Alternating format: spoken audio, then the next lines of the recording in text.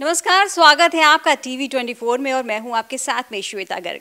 जैसा कि आप सभी जानते हैं कि छठ का पर्व चल रहा है। उसके चलते तमाम लोग उसमें उपवास भी कर रहे हैं, तमाम लोग उसकी तैयारियाँ कर रहे हैं। बहुत सारी चीज़ें हो रही हैं और उसको कैसे किया जाता है, उनको सही तरीके से, उसको जानने के लिए हमारे साथ आज स्टूडियो में मौजूद है वसुंधरा गर्ग, जो ओकल्टिस्ट है। इनके माध्यम से हम जानेंगे कि क्या है छठ पूजा का महत्व और उसको किस तरीके से किया जाता है ताकि आप सही तरीके से अपनी पूजा कर सकें। तो सबसे पहले तो वसुंधरा आपका बहुत बहुत स्वागत है हमारे स्टूडियो में। नमस्ते। आ, मैं सभी आ, लोगों को अपना नमस्कार देना चाहूँगी और छठ पूजा की हार्दिक बधाई देना चाहूँगी। ये एक बहुत महत्वपूर्ण पर्व माना जाता है हमारे भारत में।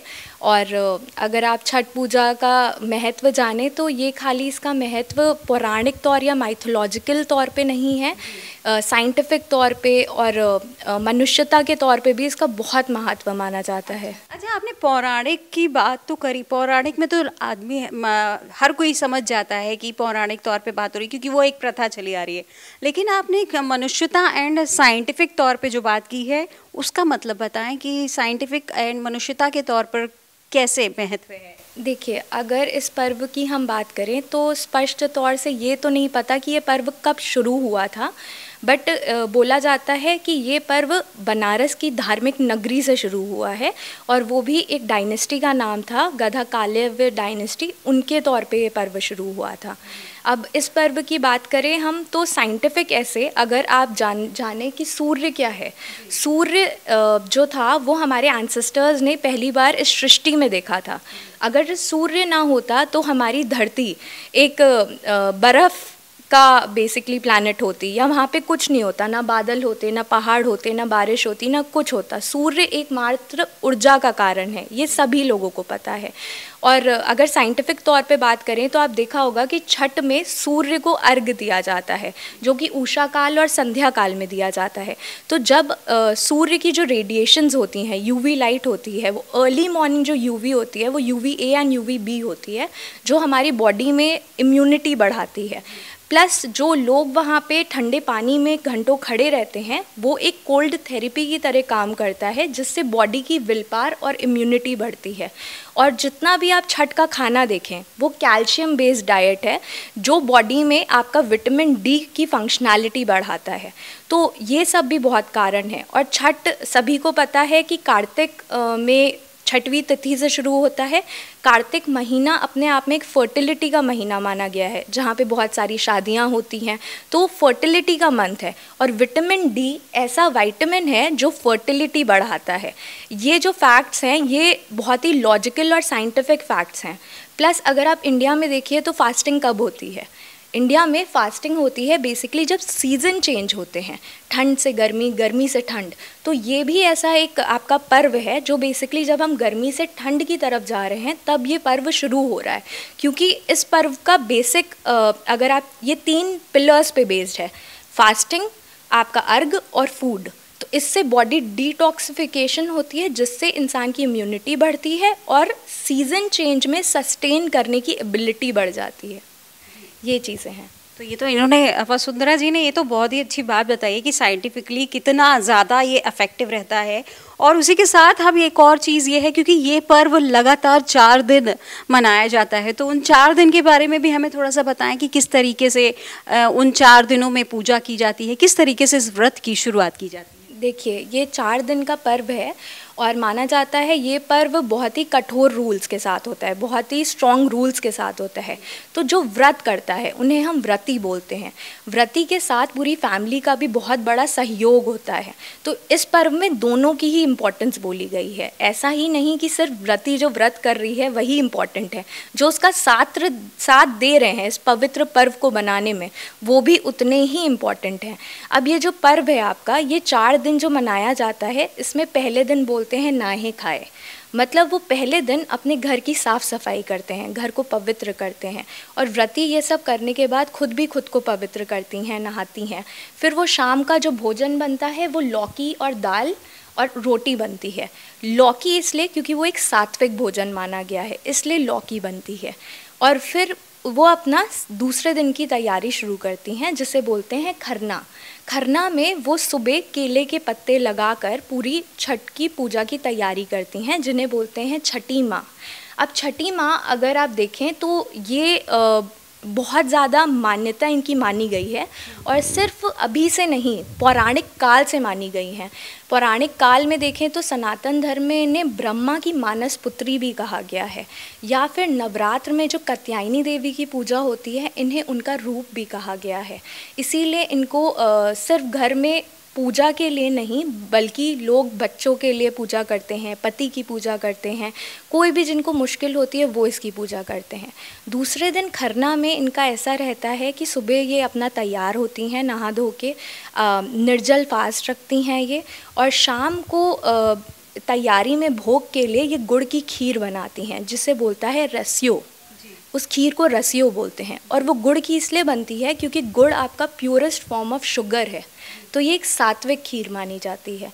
फिर जब वो अपना निर्जल फास्ट करके पूजा कर लेती हैं, खीर बन जाती है, भोग लगाती हैं, उसके बाद ये ठेकुए की तैयारी करती हैं, जो एक बहुत ही महत्वपूर्ण प्रसाद होता है छठ पूजा में ठेकुआ ये ठेकुआ भी आपका वीट डाइट होती है वीट और शुगर मिक्स होती है, जो कि एक फिर से कैल्शियम डाइट आ गई पूरी आपकी। तीसरे दिन इनका जो पर्व होता है, वो होता है संध्या काल में बेसिकली जो आपकी शाम की संध्या होती है, उसमें अर्घ देते हैं, संध्या अर्घ। तो ये सुबह से पूजा करके निर्जल व्रत रखती हैं। फिर इन लोग नदी या पोखर की तरफ़ जाते हैं, वहाँ पे इन लोग बेड़ी बनाते हैं मतलब बाउंड्री बनाते हैं, उसे आटे से पूरते हैं। वहाँ पे दिए लगाते हैं और चारों तरफ़ गन्ने, जो ताज़े गन्ने होते हैं, क्योंकि वो ताज़ा हार्वेस्ट होता है, उसे वहाँ पे गाड़ते हैं, उस पर गमछा या साड़ी टांगते हैं और वही इनकी छठी मैया होती हैं। उसको ये पूजा करते हैं, अपने लोकगीत गाते हैं। और ये लोकगीत एक भाषा में नहीं, भोजपुरी विजिका, अंगिका मैथिली, इन भाषाओं में ये गीत होते हैं। और आप खुद सोचिए, ये जो औरतें जो निर्जल होती हैं या लोग जो सहयोग कर रहे हैं, जब वो गीत गाते हैं और श्रद्धा से गीत गाते हैं तो वो किसी मंत्र से कम नहीं होता। और आपकी ये गीत गाने के बाद, ये शाम को, संध्या के सूर्य को अर्घ देने के बाद, ये अपना फिर से अगले दिन की तैयारी में लग जाते हैं। अगले दिन आपका होता है ऊषा अर्घ। ऊषा अर्घ में ये जाके सुबह सनराइज़ होने से पहले, सूर्य निकलने से पहले ये अपना तैयारी करते हैं, वहाँ बैठते हैं लोक गीत गाते हैं और सूर्य की निकलते हुए पूजा करते हैं। उस पूजा करने के बाद अपनी, सब लोग अपनी अपनी छठी मैया की तो पूजा करते हैं, लेकिन दूसरी की भी छठी मैया के आगे सर झुकाते हैं। यहाँ पे आप मनुष्यता की बात करें तो ये देखिए, वहाँ पे हर कोई एक तरह का खाना बनाता है, एक तरीके से खाना बनाता है और वहाँ पे कोई बड़ा छोटा नहीं होता, कोई कास्ट क्रीड नहीं होती, कोई upper middle class lower middle class नहीं होता। तो इस तरीके से यहाँ पे मनुष्यता दिखती है कि सब एक ही हैं। वासुदेव कुटुम्बकम का बेसिकली आप देखिए तो प्रतीक रखते हैं सब लोग। और फिर वहाँ पूजा होती है एक दूसरे को प्रसाद दिया जाता है और वहाँ पे ये अपने व्रत का एंड करती हैं ख़त्म करती हैं। और ये जो व्रत है ये ख़त्म किया जाता है कच्चे दूध से और आपकी खीर से। ये व्रत का ख़त्म करके आपस में मिल के वापस घर लौट जाते हैं।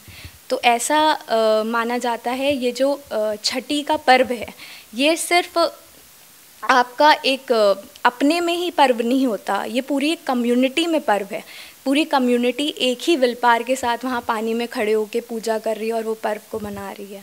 अच्छा वसुंधरा जी, आपने वो जो अर्घ देने की बात हुई है कि अर्घ दिया जाता है, पानी में खड़ा हुआ जाता है तो ये पानी में ही खड़े होके क्यों अगर, क्योंकि कई ऐसे फास्ट होते हैं, जैसे अगर हम करवा चौथ वगैरह की भी बात करें और वो भी एक व्रत है और बहुत अच्छा एक उसको मांगते हैं तो उसमें भी हर जगह अर्घ आप अपने घर पे भी दे सकते हैं, लेकिन पर्टिकुलर पानी में खड़े होकर अर्घ देने का क्या महत्व है? देखिए, पानी में खड़े होने का, अर्घ देने का ये महत्व है, ये बेसिकली पौराणिक हमारी कथा से ही आया है। अगर आपने सुना होगा सूर्य देव के जो पुत्र थे, वो कर्ण थे, और वो भागलपुर ज़िले के राजा कहलाते थे, अंगराज। वो हमेशा अपने सूर्य देव को हमेशा अर्घ दिया करते थे। पानी में घंटों खड़े होके वो उनको जल चढ़ाया करते थे। वहीं से ये सभ्यता आगे आई है। तो ये अगर देखिए तो ये एक प्रतीक, खाली एक भक्त और देव में नहीं है। ये प्रतीक एक पुत्र और एक पिता में भी प्रतीक है। तो ये जो संबंध है मतलब ये जो मौन संबंध है, ये भी एक छठ के व्रत का बेसिकली प्रतीक है कि ये सिर्फ़ एक पर्व नहीं है बट एक रिश्ता भी है पुत्र और पिता का, कि किस तरीके से एक पुत्र अपने पिता को रिस्पेक्ट करता है या उनको महत्व देता है।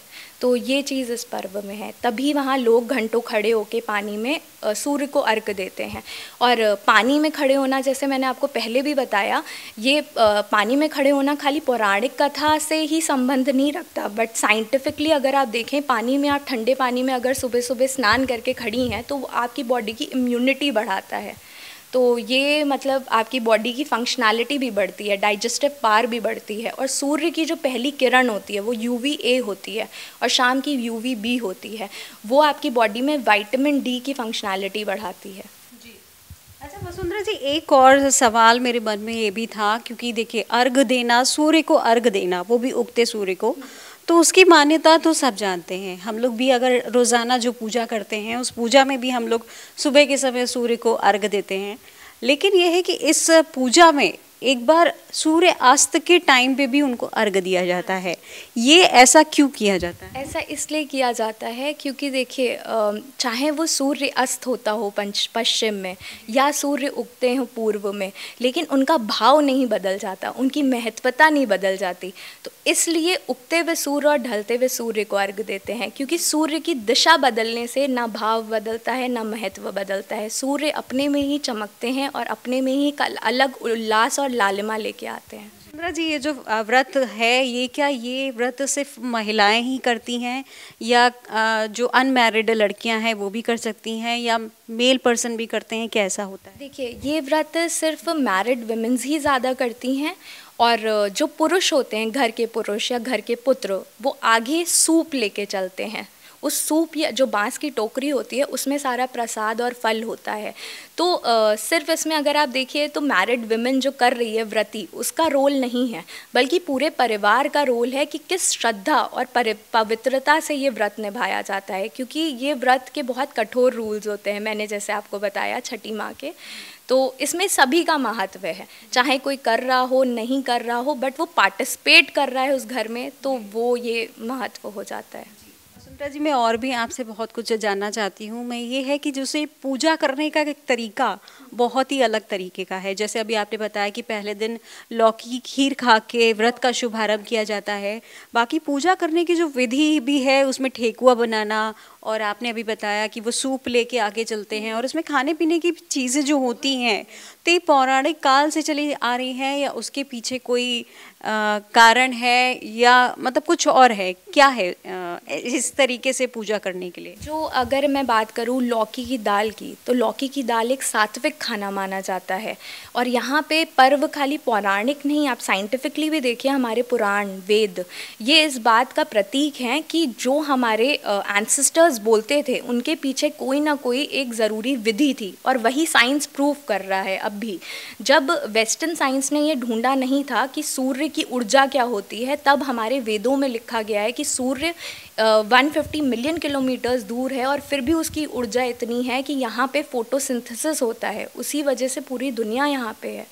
तो हर चीज़ के पीछे एक इनका साइंटिफिक तौर भी है, क्योंकि ये आप देखें तो सारे सात्विक फल भी इस्तेमाल करते हैं, जैसे सूटनी, सिंघाड़ा इनका एक अलग ही नींबू होता है, जिसको दाब नींबू बोलते हैं, बहुत बड़े साइज़ का नींबू होता है इनका। हाँ और ये आपका इस्तेमाल करते हैं केला, अनार या आपके गन्ना इस्तेमाल कर रहे हैं जिन्हें सात्विक माना जाता है और प्लस ये आपके हार्वेस्ट के फल हैं मतलब उसी टाइम होने वाले।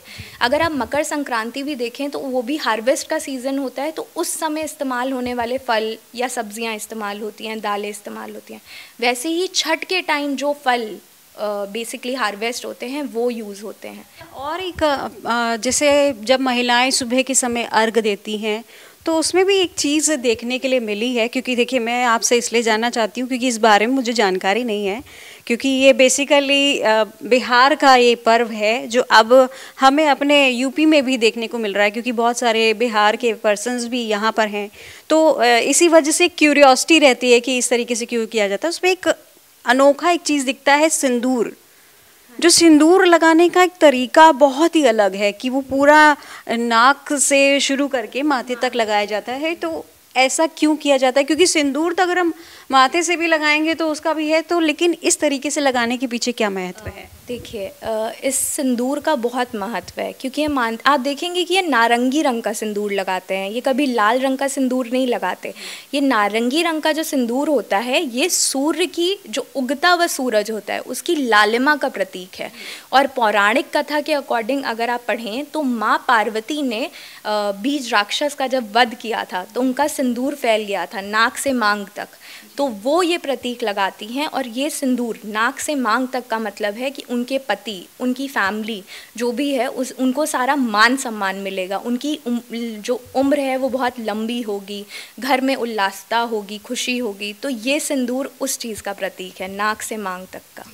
बाकी सुंदरा जी आखिर में बस और चीज़ ये जानना चाहती हूँ कि व्रत को करने वालों को किन सावधानियाँ मतलब क्या क्या प्रिपरेशन वगैरह ज़्यादा तौर पे देखनी पड़ती है? वो थोड़ा सा और बता दीजिए मुझे। देखिए, इस व्रत को करने के लिए बहुत प्रिपरेशन उनको देखनी पड़ती है। पहले तो घर की पवित्रता देखनी पड़ती है।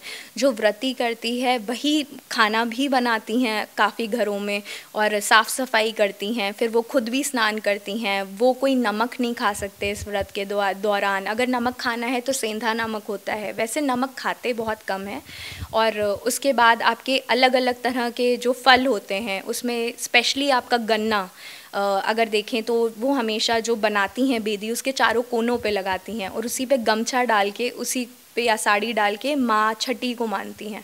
तो वो गन्ना एक बहुत बड़ा प्रतीक है और गन्ना आप अगर देखिए तो वो शुद्धता का भी प्रतीक माना जाता है क्योंकि उस पर कोई पशु पक्षी नहीं बैठता। तो ये भी चीज़ है और फिर आपका जो चूल्हा होता है वो भी उनको बहुत साफ़ करके और तरीके से उनको उस पर बनाना पड़ता है। और सुबह सुबह स्नान करना पड़ता है। आप खुद सोचिए, सूरज उगने से पहले स्नान करना मतलब आज के समय में। और आज का युवक अगर देखिए तो एक वो परंपरा ऐसी कठोर है फिर छत्तीस घंटे अगर कोई निर्जल व्रत रख रहा है, उसके बाद वो लोकगीत गा रहा है और उस श्रद्धा में गा रहा है तो ये भी एक अलग ही प्रकार से है। तो यही सारी चीज़ें हैं जो मतलब इस पर्व को महत्व बनाती हैं। क्योंकि इस पर्व में किसी को कोई पद्धति नहीं चाहिए या किसी को कोई विद्या नहीं चाहिए, लेकिन उसको श्रद्धा चाहिए और सच्चे मन की श्रद्धा चाहिए छठी माँ का व्रत मनाने की।